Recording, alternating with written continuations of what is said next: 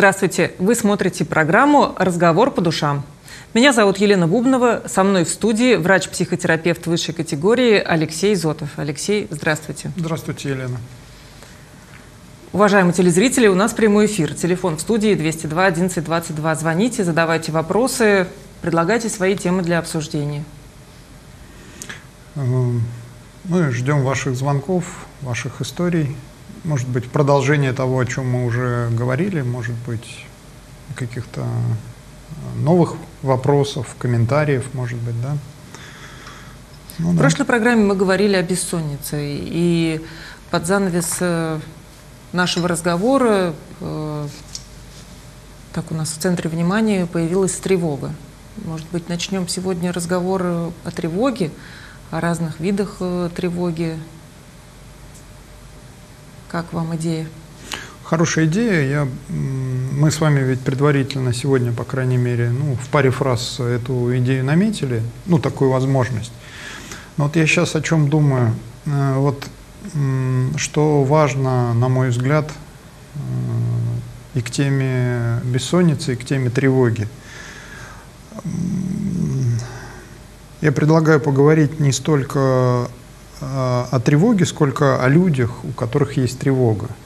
Угу. То есть, если говорить о тревоге, то это как будто некий феномен, э, отдельно существующий, где-то э, присутствующий сам по себе, который периодически возникает или случается, ну, как будто, да, как, как говорят, ветром принесло.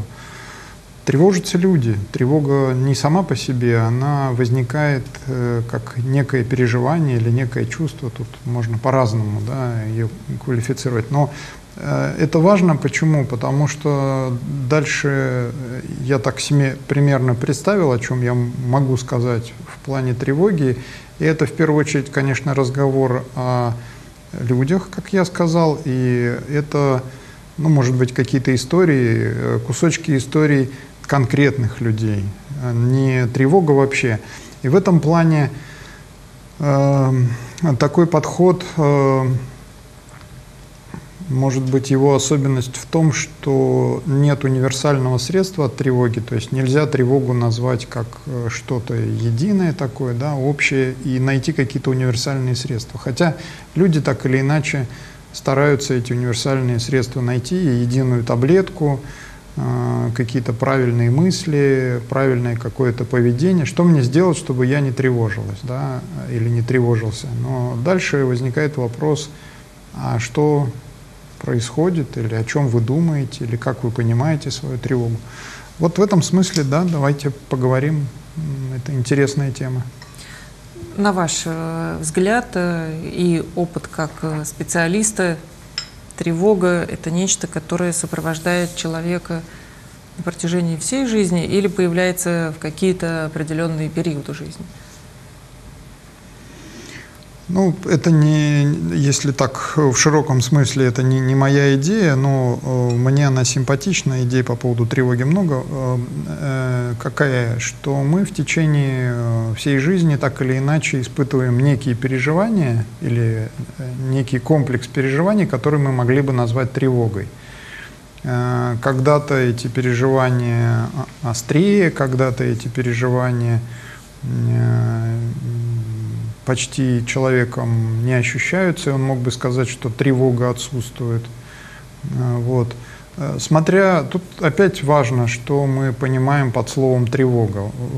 Я предлагаю сегодня под словом тревога понимать некое э, чувство, некое переживание, которое э, является ну, таким сигнализирующим самому носителю тревоги, что что-то изменилось, что-то происходит, может быть что-то угрожающее для него, может быть что-то опасное, э, но э, что именно он пока сам не очень знает. Этим тревога отличается от страха. Ну, традиционно принято разделять тревогу и страх. Страх – это если короткую формулу, это объективированная тревога. То есть, когда человек знает, чего он боится, это уже не тревога, это уже страх. Вот, а тревога это такая такое переживание, где объекта нету. То есть человек, ну, по большому счету, не может сказать, по поводу чего он тревожится в, в той или иной степени. Э, также разделяют, э, мы сегодня тоже, наверное, много об этом не будем говорить, но полезно об этом знать, что есть люди, э, ну, вот так вот от рождения более тревожные, тревожные характеры даже иногда угу. называют, да, или тревожный спектр характеров. Ну вот присущи человеку с самого детства, э, генетически ли это. Вот да, да, да, да. с самого детства человек ощущает себя э, тревожным. Э, но и, э, конечно, на то, чтобы э, вот такой, может быть, тревожный характер или тревожный склад личности формировался, могут э, влиять ну, какие-то факторы в течение его жизни, особенно ну, то есть сейчас как принято понять раннего. Так и цепочка событий. Ну, врожденные, да? да, врожденные и э, ранние периоды жизни, где закладываются действительно, мы сейчас это разделяем, мы специалисты, хорошо понимаем ранние годы жизни, где закладываются ну, какие-то базовые вещи. Если э, в этот, э, знаете, как раньше рассказывают, для того, чтобы Эм, раствор был крепкий, ну вот наши предки там яйцо добавляли, еще что-то, метафора, да, вот, и когда фундамент э, маленького человека строится, вот э, иногда там какие-то добавляются события, э, связанные с тревогой. Вот тревога в фундаменте находится. То есть человек ощущает, что у него фундаментальная тревога, она тревога во всю глубину. То есть он не видит дна этой тревоги, да, и эту тревогу он иногда с самого, самого детства, но вместе с родителями, да, иногда потом во взрослом возрасте приносит специалисту. Вот. И буквально так и рассказывают. Я вообще, ну, там меня что-то в большей степени стало тревожить. Э, э, по привычке человек свою тревогу все-таки к чему-то. Ну, например, я тревожусь за детей, я тревожусь за свое здоровье, я тревожусь за курс доллара. благополучие вот, э, какое-то. Но я чувствую, что, то есть я знаю, что эта тревога была со мной с самого там, рождения, сколько я себя помню, с детства и так далее. А некоторые люди говорят, что, в общем, раньше я не был таким тревожным человеком, это вот стало ну, с определенного времени, например. Алексей, ну, может быть, э, припомните, не жду прям мгновенного ответа от вас, э, как описывали ваши пациенты вот этот комплекс чувств, э, который мы сегодня называем тревогой? Ну, описывали, не называя это тревогой, а как-то, вот, не знаю, или в симптомах, или как-то в переживаниях? Ну, у, тревоги очень э, выраженный телесный компонент, и э, люди э, часто тревогу описывают именно через какие-то телесные переживания или ощущения. Да? Это сердцебиение, учащенное дыхание, разного рода переживания вибрации, тряски, дрожи внутри тела, это ощущение слабости, э, ну, бессонница тоже, как мы в прошлый раз говорили, связана с тревогой. Это э, такая нарушение функции работы органов. Ну, человек говорит, я вот, э, что мне как-то было так беспокойно, что вот мы куда-то там пришли в компанию, я не мог есть кусок не мог приглотить, кусок не лез в рот, да, или э, моя тревога так выражается, что я не могу далеко отойти от туалета. У меня завтра экзамен, но я чувствую, что вот меня все время на горшок тянет, да, вот. Ну и так далее, там масса каких-то вещей, э, плюс мысли, безусловно, со мной что-то не так, у меня что-то заболело, у меня где-то, ну, боль, да, тревога и боль близко.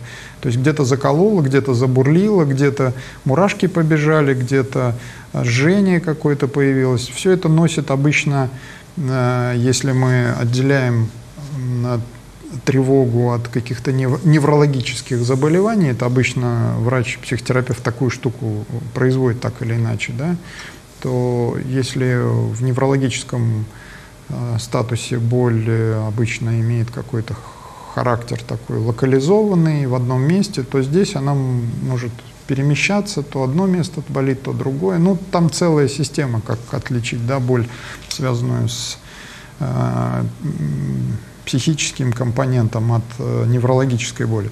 Вот. Ну и мысли э, навязчивые, много раз э, крутящиеся в голове, мысли определенного характера о том, что что-то что нехорошее должно произойти или уже произошло, угу. произошло внутри меня, какая-то, может быть, катастрофа, или я на грани катастрофы, инсульт, инфаркт, там, я не знаю, онкология, да, ну, частая такая э, тема, или в будущем. Э, такое, скажем, если подытожить и не углубляться, весь спектр не, не называть, то а, обычно человеку свойственно все-таки, вот есть такое выражение, свободно плавающая тревога. То есть мы выяснили, что она ни, ни к чему не привязана, и человек, ну, как будто берет эту тревогу, в кавычках берет, и пытается ее к чему-то привязать. То есть объяснить себе, по поводу чего он тревожится. Тем более, что близкие, окружающие очень часто его, э, собственно, к этому склоняют. А по поводу чего тревога? Ты что такой беспокойный? Да? Что случилось? Да, они говорят. Что там? Э, на работе что-то, в семье что-то, заболело у тебя что-то. Да? То есть вот и очень часто для этой тревоги нет ну, каких-то таких объективных причин. Да? да все нормально, вроде бы хороший там, день был, или впереди ничего страшного, там все нормально. Ну, вот такая какая-то возникает тревога и беспокойство. То, что человек несет. Э, парадокс может быть в том, что сейчас, если переходить к каким-то случаям, я вроде бы их анонсировал, Э, и вспоминать. Я хочу перед этим обратиться да. к нашим телезрителям. А, если вы узнаете себя в рассказах Алексея, или у вас это как-то происходит по-другому, позвоните нам, расскажите, мы готовы с вами пообщаться.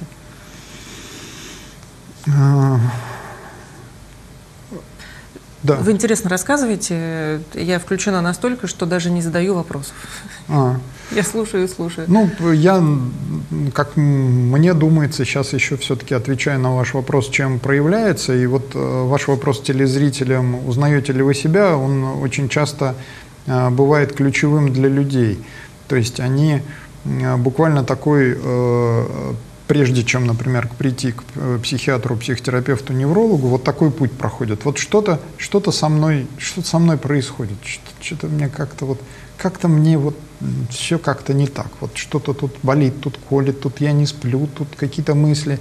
Да по-разному я... описывают. Я даже своих знакомых вспоминаю, где молодые девушки описывает, вот сижу вечером дома, и потом вот что-то внутри назревает такое, что побуждает меня выйти и вот несколько кругов вокруг дома, быстро походить, Дви... походить, походить, вот потому что иначе... Двигательное беспокойство, да, безусловно. А, вот. Эм, я хотел сказать, что э, вот это вот механизм сличения, то есть э, люди, испытывая эти переживания, э, заглядывают в интернет или в книги, еще куда-то, и через некоторое время они оттуда возвращаются э, с найденным названием, своим переживанием. У меня оказывается тревога. Это часто бывает, что человек не квалифицирует свое состояние как тревожное. То есть э, оно может быть названо э, как угодно, но, но не тревогой. Да? И вдруг вот он находит для этого подходящее название, ну, и оно годится. Угу. Вот, у меня тревога. Вот буквально, если да, вы нас слушаете и вы испытываете что-то подобное а, или близкое, то и не знаете, как это называется, то вполне можно ну, такое рабочее название этому присвоить. Тревога. То есть вот. выдвинуть гипотезу о том, что, возможно, вас беспокоит тревога. Идея выдвинуть гипотезу очень хорошая, э, то есть э, хорошая в том э, смысле, что когда человек начинает когда человек сталкивается с какими-то феноменами неизвестными в его жизни, он начинает выдвигать гипотезы. То есть он не сразу, не сразу имеет знание какое-то в полной мере, да? он сначала выдвигает предположение. Это кажется то, это кажется это. Просто в кабинете психотерапевта мы очень часто говорим о предположениях, о гипотезах, которые со временем э, становятся уверенностью или знанием человека о, самой, о самом себе или о самой себе. Вот. И, ну, это, безусловно, уникальные знания. И, и, и так как я сказал в начале, э, тревога э, у всех такая разная, у всех индивидуальная. Э, и у кого-то тревога о том, что ничего не происходит. То есть приходит человек, и я его спрашиваю, а по поводу чего вы тревожитесь, а он говорит, да у меня все нормально, или все как обычно. Потом оказывается, что это все как обычно для него длится уже в течение длительного времени, и это начинает его тревожить. Но ни, никаких изменений не происходит. Он где-то там, а, как это, неосознанно, да, подспудно понимает, что изменения какие-то должны быть. Ну, мы не, не бессмертные, не неизменяемые существа. Вот. И, конечно, это такую большую тревогу вызывает. Рождаются дети, возникает тревога определенного свойства. А, уезжают дети, возникает тревога определенного свойства. И вообще, вот вначале я сказал об этом, а, это очень хорошая идея, на мой взгляд, рассматривать э, тревогу в первую очередь с позиции э, сигнального, сигнального свойства тревоги. Тревога о чем-то, ну, скажем так, свидетельствует, она о чем-то говорит, в кавычках. Да? То есть она является неким маркером каких-то изменений, которые происходят, или изменений, которые должны произойти, но человек по каким-то причинам не, э, ну, не организует для себя эти изменения. Да? Например? Пример первого или второго? Любой пример. Я вклинилась до этого, когда, мне кажется, вы уже готовы были пример, говорить о каких-то э, примерах. Вот про, про, о подростках вот мы периодически говорим. Ну, может быть, мне это интересно. Не может быть, а я знаю, что э, мои дети сейчас вот примерно, ну, в среднем 20-летнего возраста, назовем это так, старшие подростки, молодые, и, конечно, молодые взрослые. И, конечно, я с ними общаюсь, наблюдаю за их ростом и наблюдаю на приеме их сверстников, которые приходят. Э, тревога того, что ничего не, ничего не происходит, но тревога молодых людей, которые уже э, могли бы или должны сделать шаг во взрослую жизнь, уехать в другой город, потому что Э, именно там э, тот вуз, который их э, манит или которым они себя манят, но они не переезжают в силу там определенных причин. Например, хотя бы в силу того, что взрослые слишком напуганы переездом, ну как это так, там сын или дочь куда-то уедет, да, они не поступают на тот, э, на то направление, которое э, учебы, которое они выбрали. Ну, э, родители говорят, ну вот ты будешь музыкантом и, и какой от этого прок? Иди экономистом работай, ты всегда найдешь, или сейчас там программистом, да, угу. IT-специалистом. Вот, музыкантом будешь стоять в переходах с этой, со шляпой, вот, а программисты везде нужны. Выбор, очень сложный выбор, да, иногда это невозможно совмещать одно и другое. А, а откликается ли это тревогой? Безусловно, откликается, потому что ну, ну и там получается ловушка да. такая, когда сначала родители тревожатся о таком, не знаю, будущем ребенка, но чтобы оно было уже гарантировано, э, с хорошей высокооплачиваемой работой, с востребованным образованием, э, и когда, казалось бы, сделаны шаги для преодоления этой тревоги, вот как вы угу. описываете, ребенок поступает э, учиться на программиста, а он хочет быть музыкантом, то одна тревога заменяется другой. тем угу. ли делом я занимаюсь, да, а вот я хочу бросить, э, а как сказать про это родителям? И родители, например, э, видят, если что, ребенок без особого рвения учится, у него начинается, э, ну, начинает проявляться сниженное настроение, апатия какая-то. Вот то как раз с чем приходят к вам родители со своими вот этими взрослеющими детьми про утрату смысла. Вот у нас несколько программ с вами было посвящено утрате смысла у молодых людей. Да. Приходят супруги с э, тревогой, супруги с э, хорошим большим стажем совместной жизни, э, ну, скажем, 15-20 лет. И они тоже приносят тревогу на семейные встречи. Они приносят тревогу вот этой совместности, как будто бы уже исхоженный вдоль и поперек. Э, я его знаю как облупленного, я ее знаю как, ну и так далее, да, то есть они все друг про друга знают уже, вот, и э, они что-то начинают говорить про чувства, или, может быть, они ничего про чувства не говорят, потому что чувств, кроме а, может быть, раздражения или чувств, а, кроме а, привычного сосуществования, ну, мало каких осталось, да. И они тоже обеспокоены тем, куда это все дальше будет двигаться. Это я имею в виду семья как вот некая такая система. Вот. Ну, в общем, каких-то таких э, примеров. Вот я сейчас задумался, у меня еще какие-то были, ну, может быть, сейчас вспомню. Ну, э, а, ты, ты, вот да. интересный, может быть, да, в коллекцию примеров. Вот приходит женщина и говорит, я пошла э, сам по себе ход, да, чтобы было понятно, вот на, на таких примерах э, я, я сам учусь э, тому, как, э, наверное, функционирует психика у человека. Вот приходит э, женщина и говорит, я обратилась к специалисту, ну пусть к психиатру, с тревогой. Он выписал мне препараты противотревожные. Я начала пить, и моя тревога усилилась.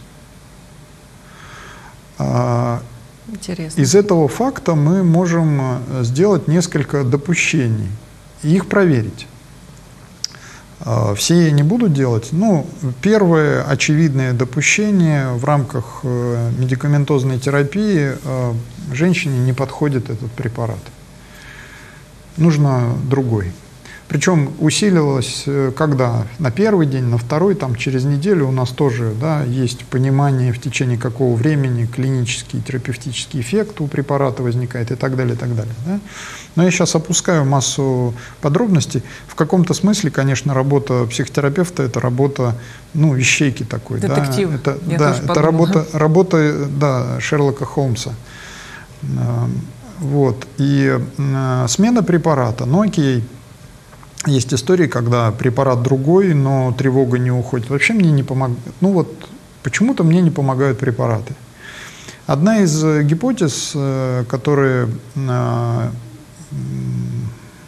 появлялась в подобного рода ситуациях и была опробована и, скажем так, оказалась рабочей, гипотеза о том, что человек несет вот свою тревогу, то есть свое беспокойство о чем-то, о чем-то важном, специалисту. И в ответ получает э, таблетку, препарат, который должен эту тревогу уменьшить. И вместо уменьшения он увеличивает. Как это можно услышать? Это можно услышать таким образом. Вообще-то я хотела бы, э, говорит потом женщина, понимая, уже когда мы разобрались, вообще-то, видимо, я хотела, хотела бы быть услышанной, я бы хотела, чтобы мы эту тревогу разобрали, чтобы мы к этой тревоге каким-то образом отнеслись, чтобы мы ну, начали выяснять.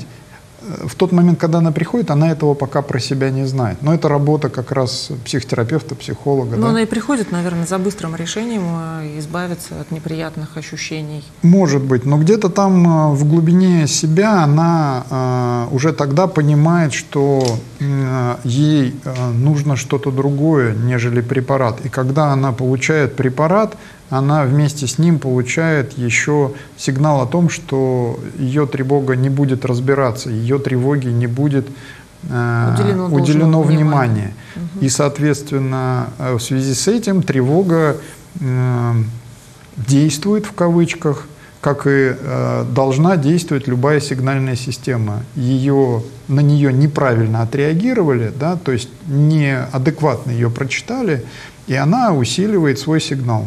То есть тревога говорит мне, ну говорит в кавычках, да, человек говорит при помощи тревоги, мне нужна не, не таблетка. Или, по крайней мере, мне нужна не только таблетка. Вот как раз э, то, о чем э, мы говорили в начале программы, где угу. вы говорите, вот, ну, хочу поговорить не о тревоге, а поговорить о, о человеке. Да. Да. И получается, что таблетка-то, она как раз нацелена конкретно на тревогу.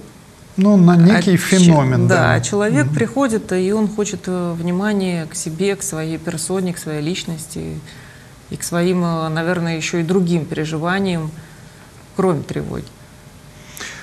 А, это очень э, с вашей стороны, Елена, мудрое замечание, э, потому Спасибо. что, да, э, это правда, потому что в этом смысле лечить нужно не тревогу, ну, лечить я как медик сейчас говорю, да, взаимодействовать хорошо, да, скажу как психолог, взаимодействовать, исследовать, разбирать нужно не тревогу, а человека, у которого есть тревога. Если мы Э, переводим свой профессиональный взгляд и предлагаем это сделать человеку только, фокусируем его только на тревоге, ну, так же, как и на депрессии, там, на бессоннице, мы перестаем, точнее, мы и не начинаем видеть человека с теми трудностями, которые он приносит. Да? И тогда это может быть бесконечная история. И тогда вопросы, а сколько мне пить таблетки от тревоги? Да? полгода пить или два месяца. А что будет со мной? Хороший же вопрос, да? А что будет со мной, когда я перестану пить таблетки от тревоги? Ну хорошо, мне станет лучше, а потом мне придется их пить еще э, какое-то время. Э, конечно, есть э, ситуативные тревоги. Я сейчас много вещей оставляю за кадром, но это целая там история. Да? Ну, я надеюсь, наши телезрители сориентируются, кому нужно.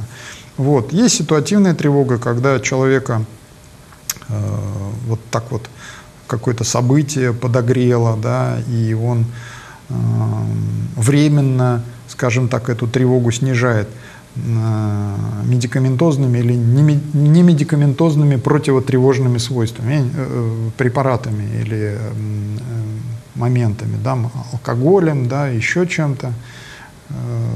Что греха таить. Угу. Вот. И вроде через какое-то время он говорит, ну да, все, я успокоился.